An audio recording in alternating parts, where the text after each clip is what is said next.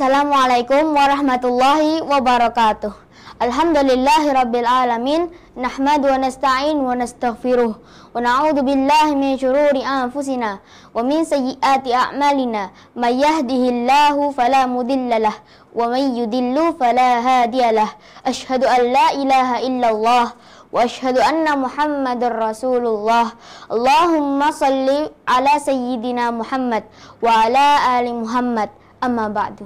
Sebagai hamba Allah yang beriman, marilah kita panjatkan puji syukur kehadirat Allah Subhanahu wa taala yang telah memberikan kesehatan sehingga kita dapat berkumpul di tempat ini dalam rangka menghambakan diri kepada Allah Subhanahu wa taala.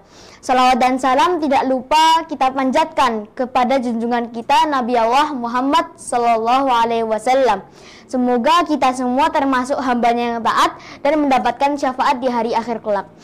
Perkenankan saya pada kesempatan ini untuk menyampaikan salah satu sifat-sifat baik Allah atau Asmaul Husna yaitu Al-Qudus. Al-Qudus adalah salah satu nama-nama baik milik Allah atau Asmaul Husna yang memiliki arti maha suci. Kata dasar dari Al-Qudus adalah kodosa yang artinya menyucikan atau menjauhkan diri dari kejahatan. Bisa pula diartikan sebagai membesarkan dan mengagumkan. Allah Maha Suci dari kelemahan, yaitu lalai, lelah, dan malas. Dan sifat-sifat yang sifat-sifat tercela yang dapat mengurangi sifat kesempurnaannya. Kesempurnaan Allah dan kemahasuciannya tidak dapat ditandingi oleh apa pun di muka bumi ini. Hal ini disebabkan adanya sifat-sifat makhluk itu sangat kecil jika dibandingkan sifat penciptanya. Allah Subhanahu wa taala berfirman dalam surat Al-Jumuah ayat 1. Yusabbihu lillahi ma fis samawati wa ma fil ard bil malikil qudusil azizil hakim yang artinya apa yang ada di langit dan apa yang ada di bumi senantiasa bertasbih kepada Allah Subhanahu wa taala Maharaja yang maha suci dan yang maha perkasa, maha bijaksana. Bagaimana sikap yang seharusnya kita lakukan dalam meyakini sifat Allah Al-Qudus?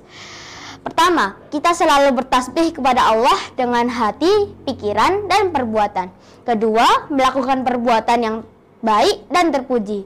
Hal ini yang paling hal yang paling mudah kita lakukan adalah selalu menjaga kesucian kita dengan berwudu dan menjaga kebersihan diri kita, pakaian kita, rumah kita, dan lingkungan sekitar kita, sehingga nyaman beribadah. Demikian kultum yang dapat saya sampaikan pada kesempatan kali ini. Semoga dapat bermanfaat bagi kita.